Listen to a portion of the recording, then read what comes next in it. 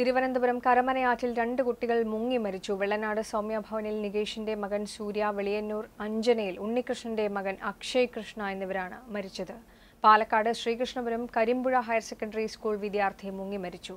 കോട്ടപ്പുറം കുന്നത്ത് വീട്ടിൽ ഹൈദ്രുവിന്റെ മകൻ മുഹമ്മദ് റോഷനാണ് മരിച്ചത്.